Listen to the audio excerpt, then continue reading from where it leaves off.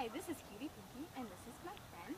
And today, I'm going to be skipping circles around here while she likes right a rice popsicle.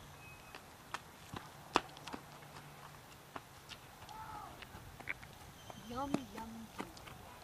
Is it good? Mm-hmm. Does it taste like rice? Very much. And popsicles? Mm-hmm. The sweetness of popsicles and the bitterness of rice. It sounds awesome.